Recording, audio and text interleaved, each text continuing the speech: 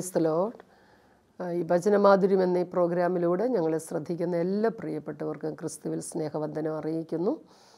സങ്കീർത്തനം എഴുപത്തിനാലിന്റെ ഇരുപത്തി മൂന്നാമത്തെ വാക്യം ഇങ്ങനെ പറയുന്നു.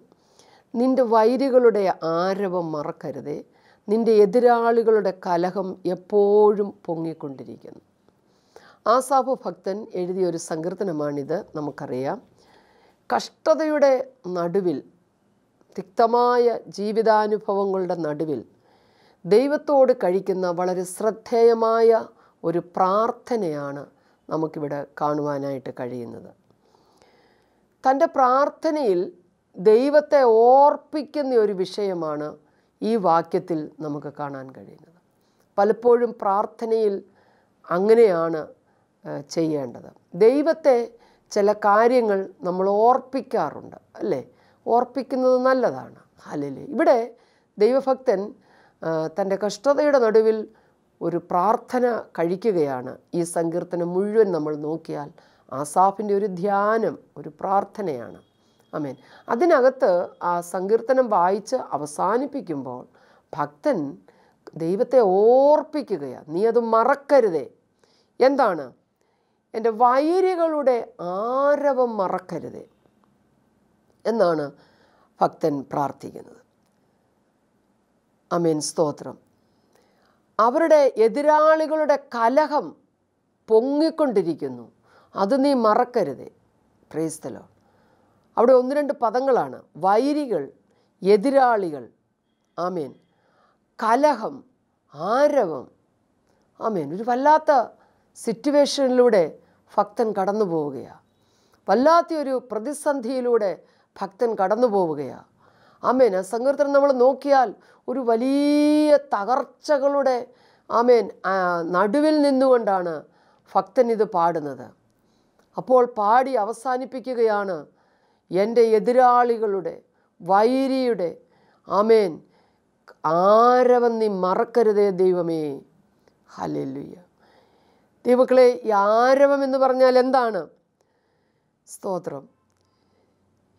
ആരവം എന്ന് പറയുമ്പോൾ ഭക്തൻ ദുഃഖിച്ച് നടക്കേണ്ട ഒരു അനുഭവത്തിൽ വരികയാണ് ഈ വാ ഈ സങ്കീർത്തനത്തിൽ തന്നെ ആമേൻ സ്തോത്രം നമ്മൾ കാണുന്നുണ്ട്. അതിന്റെ പത്താമത്തെ വാക്യത്തിൽ ദൈവമേ വൈരി എത്രത്തോളം നിന്ദിക്കും. ശത്രു നിന്റെ നാമത്തെ എന്നേക്കും ദുഷിക്കുമോ. അതിന്റെ പതിനെട്ടാമത്തെ വാക്യത്തിൽ കാണുന്നു യഹോവയെ ശത്രു നിന്ദിച്ചിരിക്കുന്നതും മൂഢജാതി തിരുനാമത്തെ ദുഷിച്ചിരിക്കുന്നതും ഓർക്കേണമേ. അപ്പോൾ തീർച്ചയായും ഭക്തൻ ശത്രുവിന്റെ ആരവമെന്ന് പറയുന്നത് ആമേൻ ശത്രുവിന്റെ നിന്നെയാണ് കാണുന്നത്. ആമേൻ സ്തോത്രം. ശത്രുപക്ഷത്തു നിന്നുണ്ടാകുന്ന അനുഭവിക്കേണ്ടി വരുന്ന വലിയ നിന്നയുടെ അനുഭവം. ഹലലിയ ആമേൻ സ്തോത്രം. ആ ഒരു അനുഭവത്തിൽ നിന്നുകൊണ്ടാണ് കർത്താവേ നീ അത് ഓർക്കണമേ നീ മറക്കരുതേ എന്ന് പ്രാർത്ഥിക്കുകയാണ്.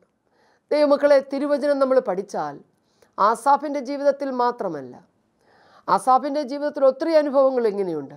എഴുപത്തിമൂന്നാം സങ്കീർത്തനത്തിൽ ആമേൻ എഴുപത്തി ഏഴാം സങ്കീർത്തനത്തിൽ ഒക്കെ നമ്മൾ വായിക്കുമ്പോൾ ഇങ്ങനെ ഒത്തിരി ചോദ്യങ്ങൾ ആഫ ആസാഫ് ചോദിക്കുന്നതായി നമ്മൾ കാണുന്നുണ്ട്.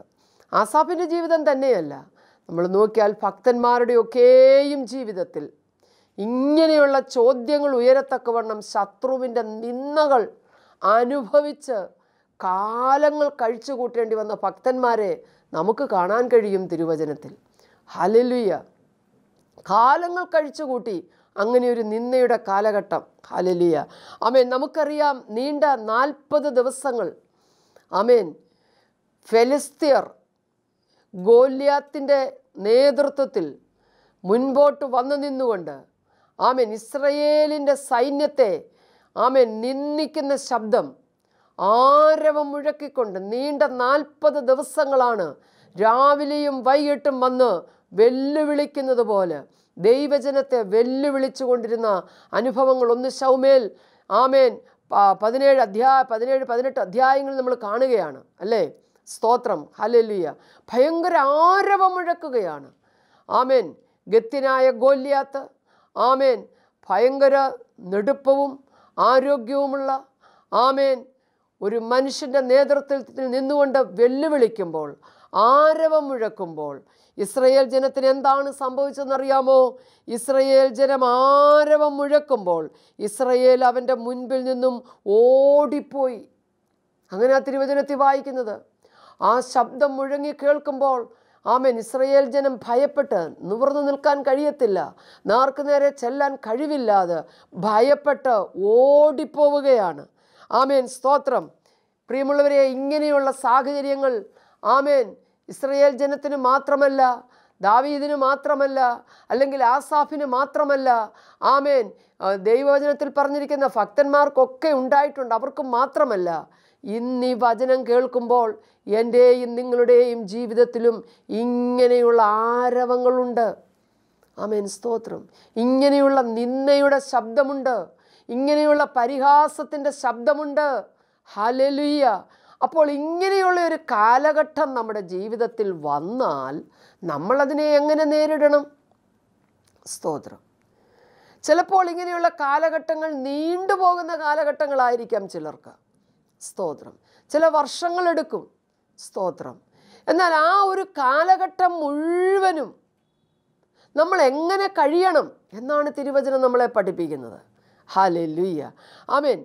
ദൈവത്തിന്റെ വചനത്തിൽ പറയുന്നു യഹോവയുടെ ന്യായപ്രമാണം ഉള്ളിലുള്ള ദൈവത്തിന്റെ ജനമേ നിങ്ങൾ മനുഷ്യരുടെ നിന്നയെ ഭയപ്പെടരുത്. അമേൻ സ്തോത്രം. ആരോടാണ് പറയുന്നത്? ദൈവത്തിന്റെ വചനം ഉള്ളിലുള്ള ജനം. സ്തോത്രം. ഞാൻ ചോദിക്കട്ടെ ദൈവം നിനക്ക് വചനം തന്നിട്ടില്ലേ? വാഗ്ദത്തം തന്നിട്ടില്ലേ? ദൈവം നിന്നോട് പറഞ്ഞിട്ടില്ലേ? വ്യക്തമായി ദൈവം നിന്നോട് ഇടപെട്ടിട്ടില്ലേ നിന്റെ ജീവിതത്തിൽ? ഇപ്പോൾ ആമേൻ. കര കാണാതെ ഉഴലുന്നത് അനുഭവമല്ലേ? ഇപ്പോൾ ഒരു വലിയ സമുദ്രത്തിന്റെ നടുവിൽ കിടന്ന് വട്ടം കറങ്ങുന്നത് പോലൊരു അനുഭവമല്ലേ? ആമേൻ. എങ്ങനെയൊരു തീരത്തണയുമെന്ന് ഓർത്ത് നീ വ്യാകുലപ്പെടുകയല്ലേ? എന്നാൽ ദൈവത്തിന്റെ ആത്മാവ് പറയുക നിന്നെ ആ സമുദ്രത്തിലേക്ക് ഇറക്കി വിടുന്നതിന് മുമ്പ്. അല്ല നീ ആ സമുദ്രത്തിൽ കിടന്ന് കുഴയുമ്പോൾ നീ കരഞ്ഞപ്പോൾ നിനക്ക് ഞാൻ വചനം തന്നു. നിന്റെ വചനം എന്റെ വചനം നിന്റെ ഹൃദയത്തിൽ ഉള്ളതുകൊണ്ട് നീ മനുഷ്യന്റെ നിന്നയെ ഭയപ്പെടരുത്. ഭയപ്പെടാതിരിക്കാൻ കഴിയുമോ? ഈ നിന്ന് അനുഭവിക്കുന്നവരോട് ചോദിക്കണം. ഹലേ ലുയ്യ അത് അനുഭവിക്കുന്ന നമുക്കറിയാം. ആമേൻ. സ്തോത്രം. നമ്മൾ ഭയപ്പെട്ടു പോകും. മനുഷ്യന്റെ മുൻപിൽ നിന്ന് ഉൾവലിയുവാനായിട്ട് നമ്മൾ ശ്രമിക്കും. ചോദ്യങ്ങളുടെയൊക്കെ മറുപടി പറയാൻ വയ്യ. ഒത്തിരി ചോദ്യങ്ങൾ അപ്പുറത്തു നിന്നും ഇപ്പുറത്തു നിന്നും വരികയാ. മറുപടി പറയാൻ വയ്യ. എന്ത് ചെയ്യും? അതിന്റെ നടുവിൽ ആമേൻ തിരുവചനം പറയുകയാണ്. നീ ഭയപ്പെടരുത്. പിന്നെ എന്ത് ചെയ്യണം? ഈ സമയം മുഴുവനും നീ പ്രാർത്ഥനയിൽ കഴിയണം. ദൈവത്തിന്റെ വചനം നമുക്ക് വളരെ ശക്തമായി തരുന്ന ആലോചനയാണ്.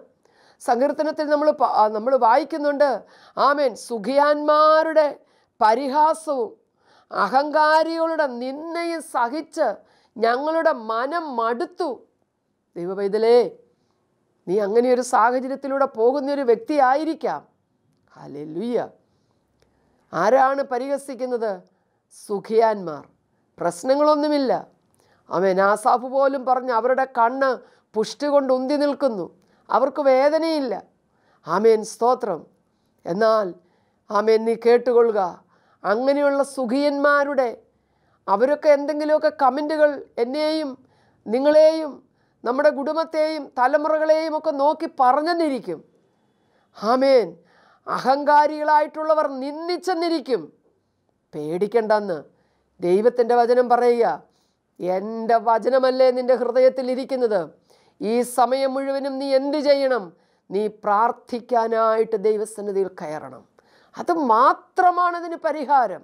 തിരുവചനം നമ്മൾ നോക്കിക്കോ ഏത് വലിയ പ്രതിസന്ധിയിൽ ഭക്തന്മാർ ചെന്ന് വീണിട്ടുണ്ടോ അവർ പ്രാർത്ഥന കൊണ്ട് മാത്രമാണ് നേടിയിട്ടുള്ളത്.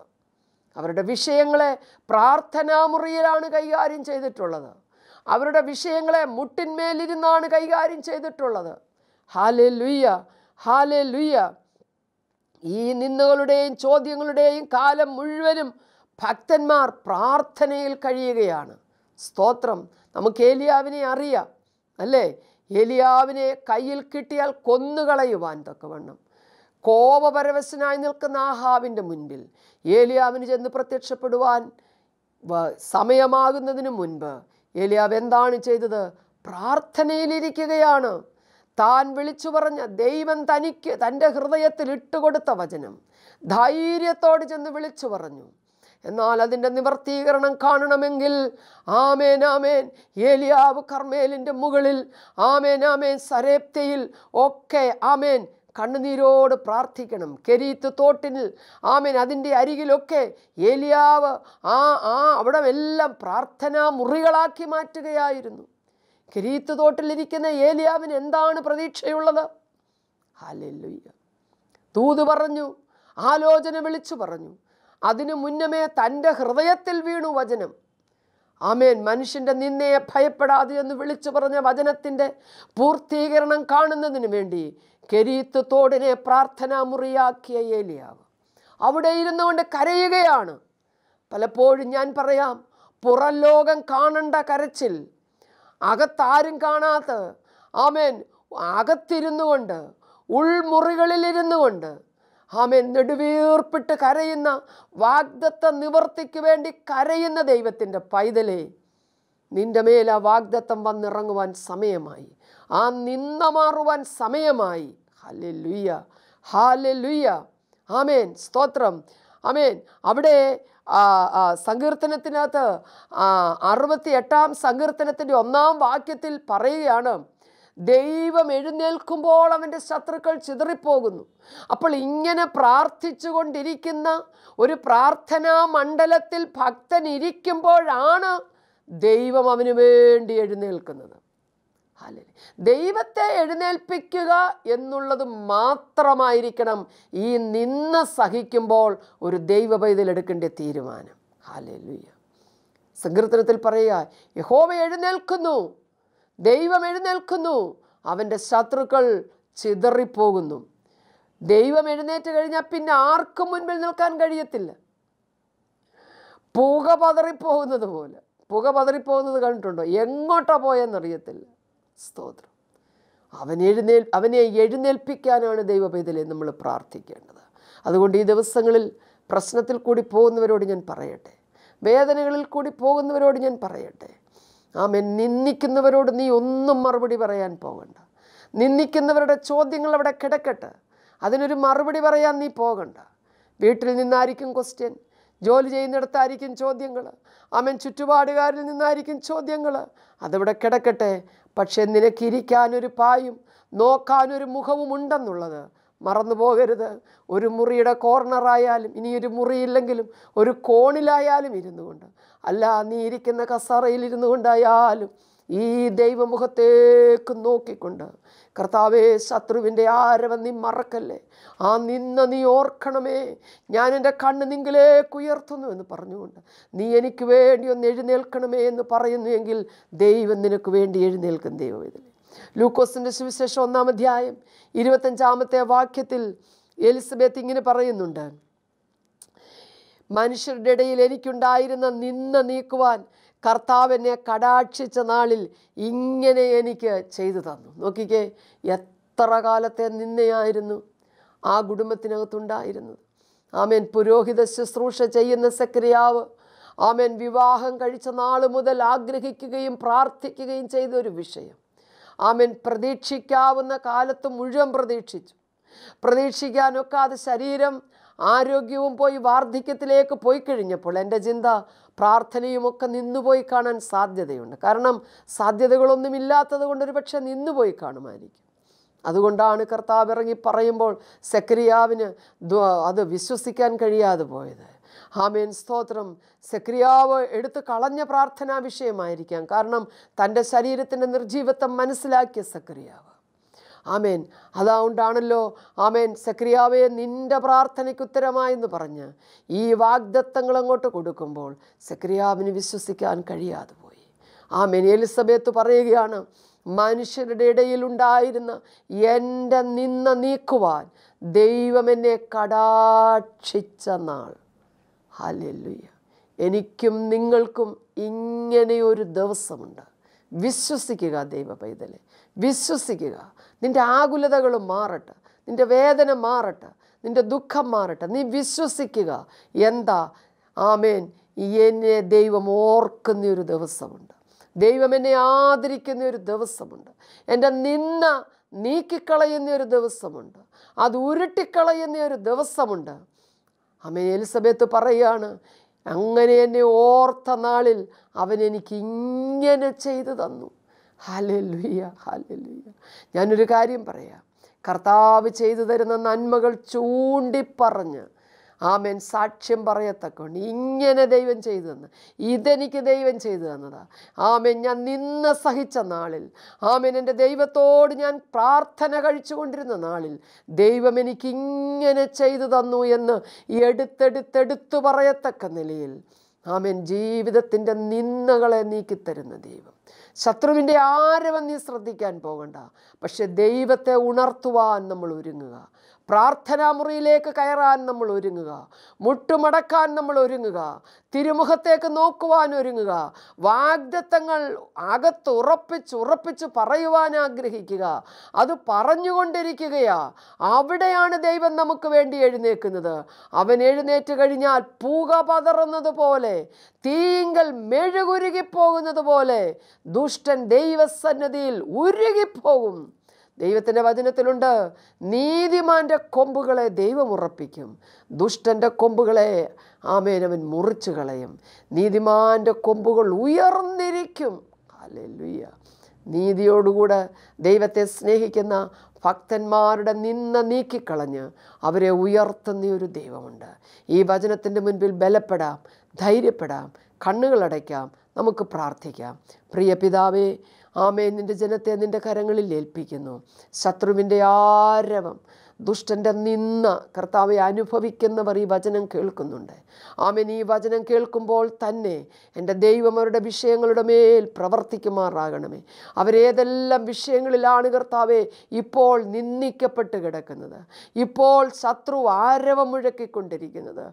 ഓ നീ അത് മറക്കരുതേ ദൈവമേ. പ്രാർത്ഥനയ്ക്കായി ഒരുങ്ങുവാൻ പ്രാർത്ഥനാ മുറിയിൽ വിടുതൽ കണ്ടെത്തുവാൻ ദൈവത്തിന്റെ വചനം ഹൃദയത്തിൽ സംഗ്രഹിച്ചുകൊണ്ട് പ്രാർത്ഥിക്കുവാൻ ആമൻ മുഖം വാടാതെ ജീവിക്കുവാൻ നിന്റെ ജനത്തെ നീ അനുഗ്രഹിക്കുമാറാകണമേ. ഇത്ര നല്ലവനായൊരു കർത്താവ് ഞങ്ങൾക്കുണ്ടല്ലോ. ആമേൻ ആമേൻ. നിന്നെ ഉരുട്ടിക്കളയുന്ന ഒരു ദൈവം ഓ ഒരു പുതിയ അനുഭവത്തിലേക്ക് കൊണ്ടെത്തിക്കുന്ന കർത്താവിന് നന്ദി പറയുന്ന കർത്താവേ. ഓ നിന്നെ നീക്കിക്കളയുമ്പോൾ ഒരു വലിയ സാക്ഷ്യവുമായിട്ടാണല്ലോ എഴുന്നേൽക്കുന്നത് ദൈവം എന്നെ കടാക്ഷിച്ച നാളിൽ എനിക്കിങ്ങനെ ചെയ്തു തന്നുവെന്ന് എലിസബേത്ത് പറയുന്നത് പോലെ തന്നെ കർത്താവേ. മക്കളില്ലാത്ത അനുഭവത്തിൽ തലമുറകളെ കാണാനില്ലാത്ത അനുഭവത്തിൽ നിന്നെ അനുഭവിക്കുന്നുണ്ടെങ്കിൽ ഈ വചനത്തിന്റെ മുൻപിൽ കർത്താവിന്റെ നാമത്തിൽ ഒരു വിടുതലടിയൻ കൽപ്പിച്ച് പ്രാർത്ഥിക്കുന്നു കർത്താവേ. നിന്റെ ജനത്തെ നീ വിടുവിക്കും സഹായിക്കും. സാഖല നിന്നകളും ഉരുണ്ടു പോകട്ടെ. സാഖല നിന്നകളും ഉരുട്ടിക്കളഞ്ഞാട്ട് നിന്റെ ജനത്തിന്റെ മേൽ അനുഗ്രഹം വരട്ടെ. നന്മകൾ വരട്ടെ. ശത്രുവിന്റെ ആരവങ്ങളെ ഇല്ലാതാക്കിക്കാട്ട്. അവൻ കർത്താവെ തകർത്തു കളഞ്ഞ മേഖലകളുടെ മേൽ ദൈവത്തിന്റെ ഒരു പണി നടക്കട്ടെ. ദൈവത്തിന്റെ ഒരു പ്രവൃത്തി നടക്കട്ടെ. ഈ സമയത്ത് ഞാൻ ഏൽപ്പിച്ചതെന്ന് പ്രാർത്ഥിക്കുന്നു കർത്താവെ. അങ്ങനെ സംഭവിക്കുന്നത് കൊണ്ട് സ്തോത്രം. യേശുവിന്റെ നാമത്തിൽ തന്നെ. ആമേൻ ആമേൻ. ഈ ദൈവം നിങ്ങളെ അനുഗ്രഹിക്കുമാറാകട്ടെ. താങ്ക്